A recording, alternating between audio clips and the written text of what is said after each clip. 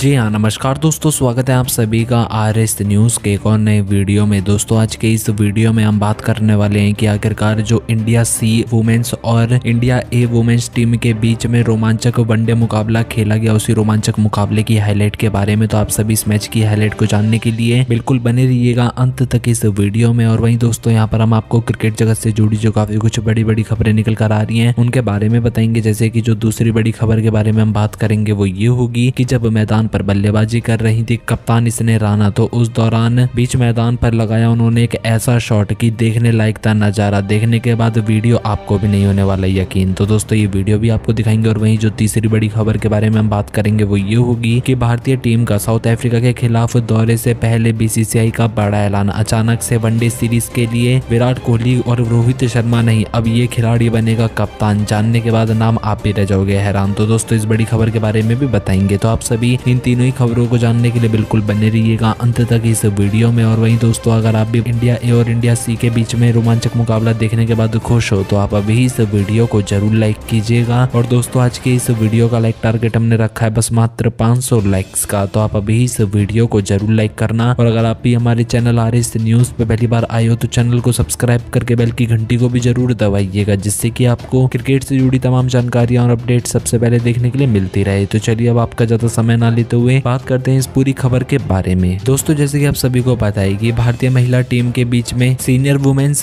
cricket challenger trophy 2021 से 22 खेली जा रही है। तो वहीं दोस्तों, इस senior women's cricket challenger trophy में एक से बढ़कर एक रोमांचक मुकाबले खेले जाते हुए दिखाई दे रहे हैं और ऐसा ही रोमांचक मुकाबला इंडिया ए और इंडिया सी टीम के बीच में खेला जाता हुआ दिखाई दिया। जी हाँ दोस्तों, हम आपको बताएँ कि ये जो senior women's cricket challenger trophy है, ये पचास पचास ओवर की हो रही है, जहाँ पर इंडिया ए और इंडिया सी के बीच में पचास पचास ओवर यानी कि ओडीआई मुकाबला खेला गया। तो वहीं दोस्तों, इस मुकाबले में इंडिया सी की कप्तान शिखा पांडे ने टॉस जीतकर पहले बल्लेबाजी करने का फैसला किया, जहाँ पर उनका बल्लेबाजी करने का फैसला उनकी टीम के लिए शुरुआत में तो बिल्कुल भी सही साबित हुआ नहीं। जी हाँ दोस्तों, जैसे कि आप सब यहाँ पर स्कोर कार्ड में देख पा रहे होगी कि जब इंडिया सी की तरफ़ से पेरिया पुनिया और धारा गुजरान पर ओपनिंग करने के लिए उतरी तो यहाँ पर इंडिया सी की तरफ़ से दोनों बल्लेबाज कुछ ज़्यादा खास कमाल कर नहीं पाई। जी हाँ दोस्तों, यहाँ पर पेरिया पुनिया दो गेंदों में शून्य रन पर आउट हुई तो वही धारा गुजर भी चार गेंदों में शून्य रन पर ही पवेलियन लौटी और ये दोनों ही ओपनर बल्लेबाज अपना खाता तक भी नहीं खोल पाए। तो वहीं फिर मैदान पर बल्लेबाजी करने के लिए उतरी आर आर शाह और अनुष्का शर्मा, जहाँ पर आर आर शाह ने इस मुकाबले में सैंतीस गेंदों में ग्यारह रनों की पारी खेली और अपनी इस पारी में उन्होंने एक चौका लगाया। हालाँकि यहाँ पर अनुष्का शर्मा अठारह गेंदों में तेरह रन बनाकर आउट हुई और इसी के साथ इंडिया सी की टीम को एक के बाद एक झटके लगते चले जा रहे थे, जहाँ पर बस मात्र बत्तीस रन के कुल स्कोर पर ही इंडिया सी की टीम ने अपने छह बड़े विकेट गवा दिए थे, जहाँ पर उनकी कप्तान शिखा पांडे का भी विकेट शामिल था। और इसी के साथ इंडिया सी की टीम काफ़ी ज़्यादा मुसीबतों में दिखाई दे रही थी। लेकिन दोस्तों, फिर किसी को क्या ही पता था की इस मुकाबले में राधा यादव और चल्लूरू प्राथियोसा का तूफ़ान देखने के लिए मिलेगा। जी हाँ दोस्तों, यहाँ पर राधा यादव ने शानदार बल्लेबाजी करते हुए अट्ठानवे गेंदों में बयासी रनों की पारी खेली। तो वहीं चालूरू ने इस मुकाबले में चौहत्तर गेंदों में तिरसठ रन बनाए और इन्हीं दोनों की बल्लेबाजी की बदौलत इंडिया सी टीम एक सम्मानित स्कोर तक पहुँच सकी, जहाँ पर इन्होंने 205 रनों का लक्ष्य 10 विकेट अपने गवा इंडिया ए की टीम के सामने रखा और वहीं दोस्तों इस दौरान जो सबसे ज़्यादा विकेट लेने वाली गेंदबाज रही, वो रही इसने राना जहाँ पर इसने राना ने आठ दशमलव एक ओवर फेंकते हुए बत्तीस रन देकर तीन बड़ी सफलताएँ हासिल की। तो वहीं सिमरन बहादुर ने भी तीन बड़ी सफलताएँ हासिल की, दस ओवर फेंकते हुए। जैसे कि आप सभी यहाँ पर स्कोर कार्ड में देख सकते हो। तो वहीं दोस्तों फिर मैदान पर बल्लेबाजी करने के लिए जब दो सौ छह रनों के लक्ष्य के जवाब में इंडिया ए की टीम उतरी तो इंडिया ए की टीम की भी शुरुआत ज़्यादा अच्छी नहीं रही। दरअसल यहाँ पर इंडिया ए की तरफ़ से मैदान पर आई शिवाली सिंधे और झांसी लक्ष्मी के बीच में एक अच्छी साझेदारी देखने के लिए नहीं मिली, जहाँ पर शिवाली सिंधे छह गेंदों में शून्य रन पर ही आउट हुई। तो वहीं झांसी लक्ष्मी ने बढ़िया बल्लेबाजी करते हुए उनहत्तर गेंदों में बत्तीस रन बनाए। तो वहीं यस्तिका भाटिया ने इकतालीस गेंदों में उन्नीस रनों की पारी खेली। दिशा कसाट ने तिरपन रन बनाए। और वहीं बात करें इसने राना की तो इसने राना ने इस मुकाबले में पिछहत्तर गेंदों का सामना करते हुए उनसठ रनों की पारी खेली और अपनी उनसठ रन की पारी में उन्होंने सात चौके लगाए। और इसी के साथ इंडिया ए टीम ने अंतिम ओवर में जाकर जब इस मुकाबले को अपने नाम किया। तो ऐसे में दोस्तों, यहाँ पर इंडिया ए की तरफ़ से दमदार प्रदर्शन इस मुकाबले में देखने के लिए मिला और अब तक टूर्नामेंट में सबसे अव्वल प्रदर्शन इंडिया बी के बाद इंडिया ए का ही आता है। तो ऐसे में दोस्तों अब आपकी क्या राय है इंडिया ए की इस प्रदर्शन के बारे में और आप भारतीय टीम की बल्लेबाजों को दस में से कितने अंक देना चाहोगे? आप अपनी कीमती राय और विचार हमें नीचे कमेंट बॉक्स में कमेंट करके ज़रूर बताइएगा। तो चलिए आगे बढ़ते हम बात करते हैं अगली खबर के बारे में। जो अगली बड़ी खबर निकल कर आ रही है वो ये है।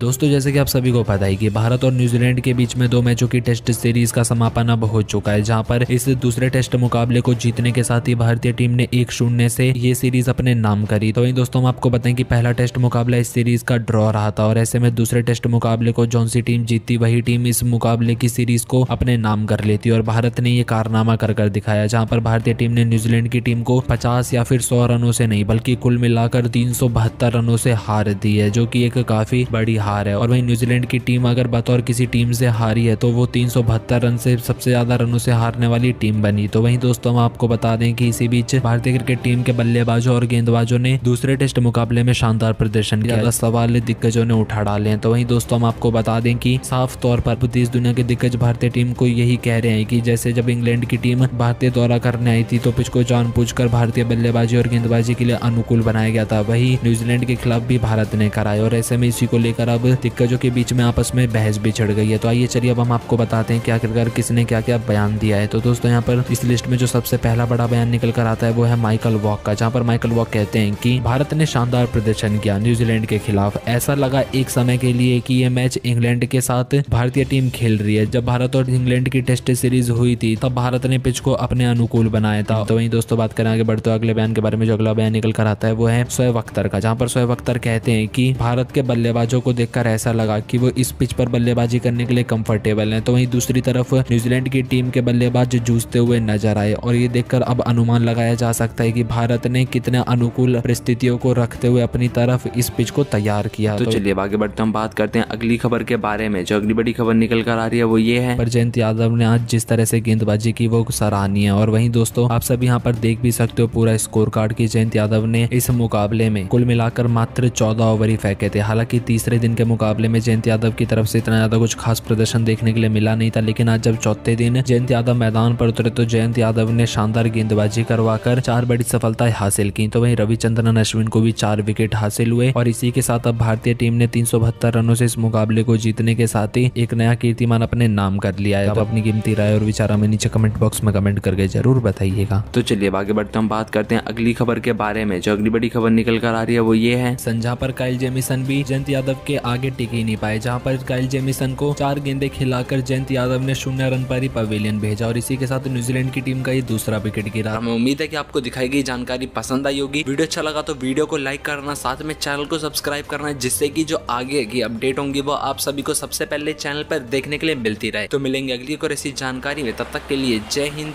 जय भारत। अगर जानकारी अच्छी लगती है तो जानकारी को लाइक कीजिएगा और साथ में आर एस न्यूज़ चैनल को सब्सक्राइब करके बेल की घंटी को ज़रूर दबाइएगा, ताकि आप भी क्रिकेट की तमाम जानकारियों से अपडेटेड रह सकें।